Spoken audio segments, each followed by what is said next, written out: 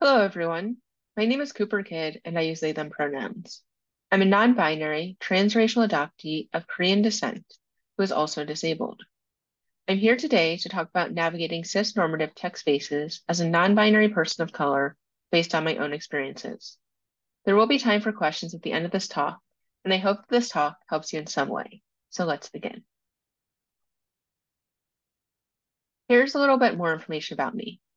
For visual access, I'm wearing a white button-down shirt with a suit jacket on top. I'm also wearing headphones that are black and have a light brown complexion with dark brown eyes and black hair. I hold a master's in information management from the University of Maryland College Park, which is located outside Washington, D.C. I grew up in the D.C. area and have lived many places, including the Bay Area, North Jersey, and currently live in Philadelphia. I currently work for Barclays Bank as a technology analyst and have a background working in healthcare and higher education with mostly LGBTQ plus identified individuals. My background with LGBTQ plus work informs how I approach my work, and my identity influences how I navigate all aspects of my life.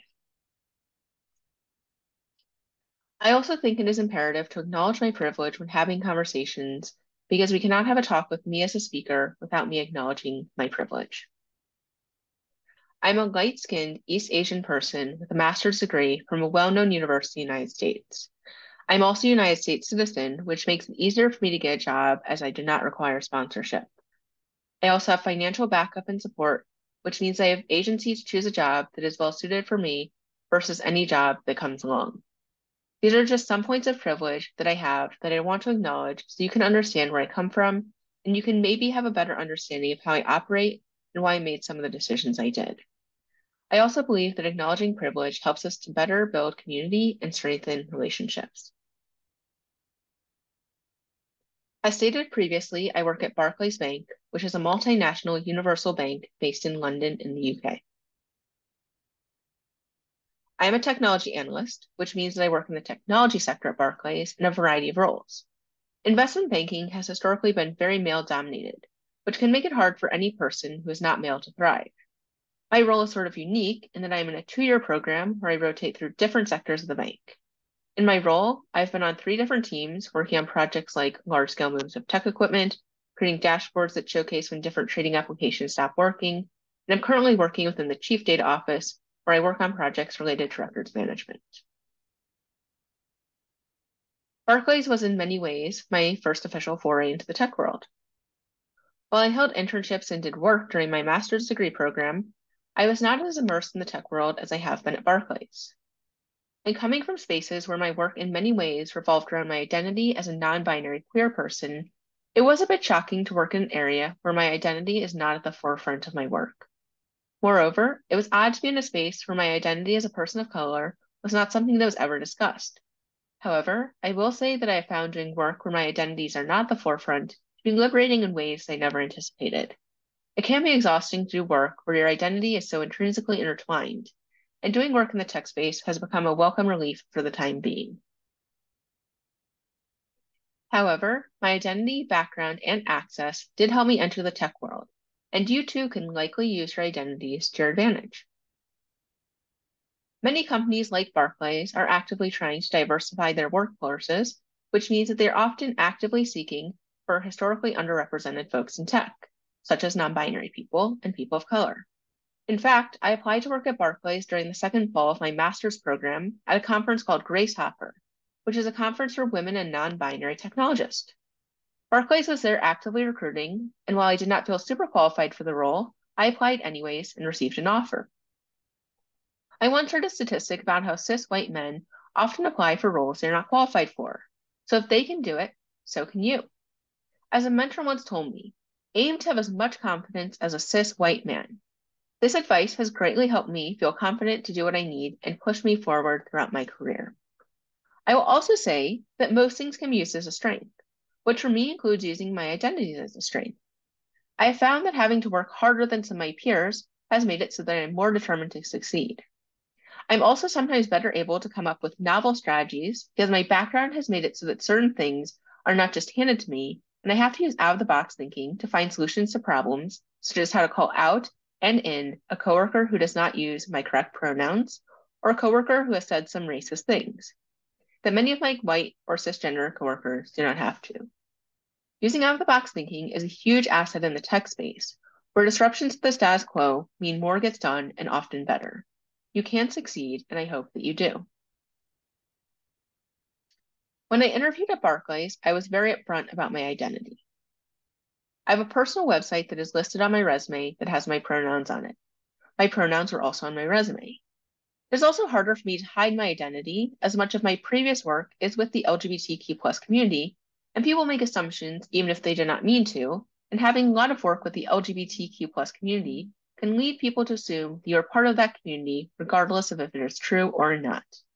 However, you may want to not disclose the interview if you are worried that it will negatively impact you. On the flip side of that, though, is that you may not be able to tell how friendly a company will be towards non-binary and LGBTQ plus people, something that you can sometimes tell at an interview. During the interview, it is important to also remember that you are interviewing them. You can ask questions about LGBTQ plus protections, affinity groups, and support to learn more about the company. They may not tell you, but sometimes you can get a vibe, which can be very useful.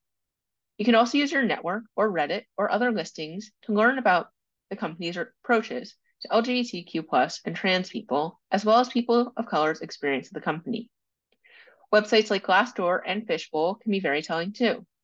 Using your network or the internet or both to learn more is something that I cannot emphasize enough. When I started at Barclays, I knew that they had been lauded for their diversity initiatives and workforce inclusion, which was appealing to me. I wanted to work somewhere where I knew that I would be able to be myself in the workplace and not have to fight to feel that way. Many companies are moving in this direction too, which makes it a little easier to find a workspace as a non-binary person. You can often find if companies have been awarded for their diversity initiatives as well as what they are doing to increase diversity. The Human Rights Campaign, or as is more commonly known, the HRC, for instance, has ranked companies based on their policies for LGBTQ employees, and this guide is accessible on their website for free. There are many other such listings too that can help you determine if a company is a potential good fit for you as well. And these are easily found with a quick Google search. While these listings are not going to tell you everything, they are a good place to start. You can also use these listings and online sites to learn more about companies' policies around many other things that may be useful for you, such as their policies for disabled employees, for instance. I cannot state how helpful searching for these items was before I accepted the offer from Barclays. These are also good ways to look into initiatives for race-related topics at work too, which is vital to navigating the tech world because it is harder as a person of color and you do not want it to be harder than it has to be. As a trans person who is also disabled, I also found that it was important to look into healthcare coverage before accepting a job because I wanted my care to be covered by my insurance. To do this, I had the recruiter I worked with email me the healthcare and policies for the cover for other coverage offered by Barclays, as well as information on short-term disability and other things I thought were important.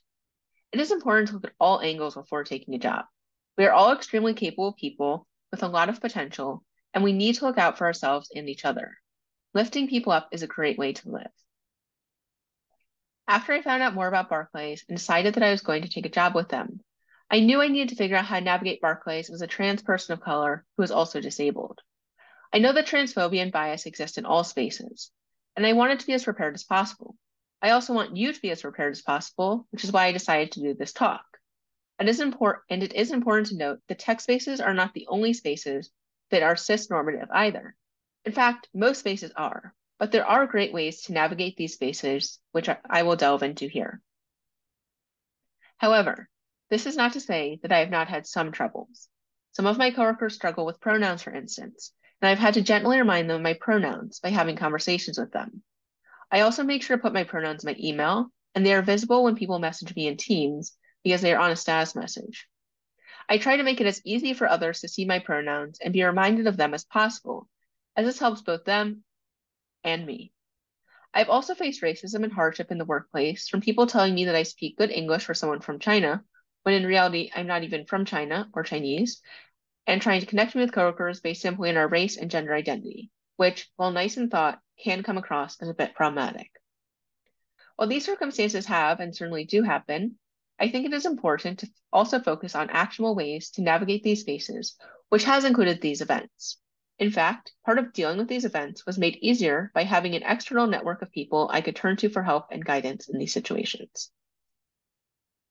One of the most valuable ways I have navigated cis-normative workspaces as a disabled queer person of color was to have an external network of folks that I can turn to for support.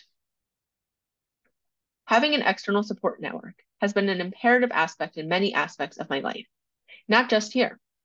I just had surgery, for instance, and this network was so incredibly supportive in helping me with that as well. An external support network can be helpful in work situations because your friends and mentors who are not involved with your work can provide support that your coworkers may be unable to provide. You can also discuss things with them you may not want to discuss with people you work with, which can be very helpful.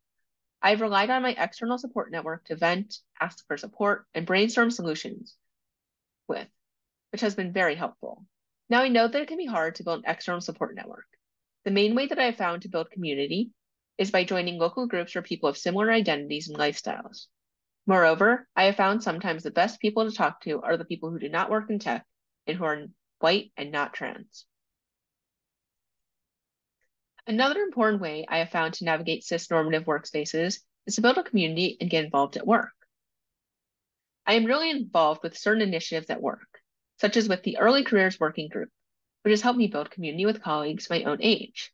I have also been involved with the LGBTQ plus working group, where I've met other colleagues, including some who share being both non-binary and non-white. Building a network of people I can rely on and share with at work has been really helpful in helping me learn many of the skills I'm talking about here today.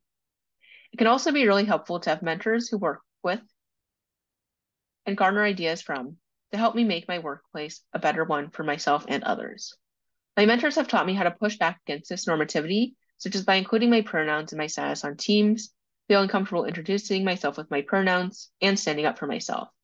And now, when microaggressions, bias, or discrimination show up at work, I'm better able to ask for help dealing with it from others above me or saying that those things are not okay.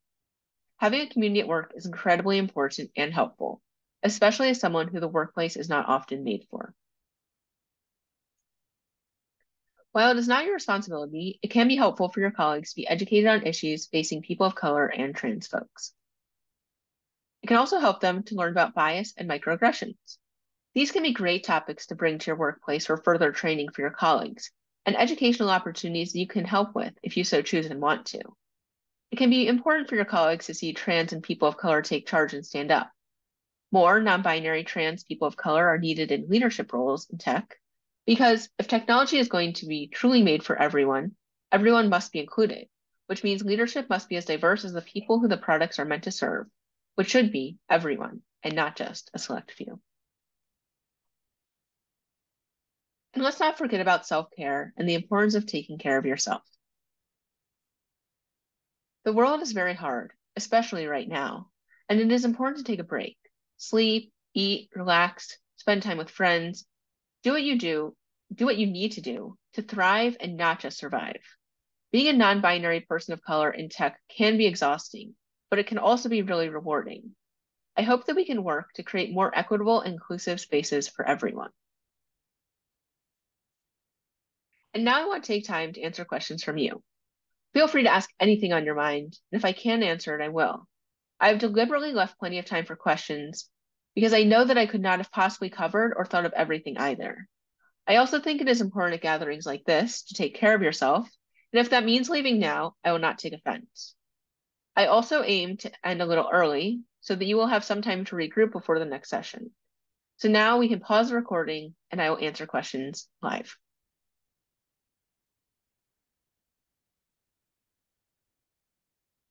Thank you for coming to my talk. I hope it was helpful and you were able to take away something.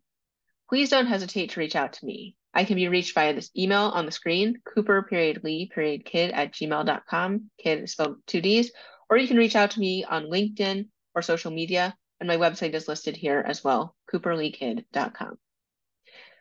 Again, please don't hesitate to reach out. I'm here to help in any way that I can. And thank you again for coming. And I hope you have a great rest of your day and a great rest of this conference. Thank you.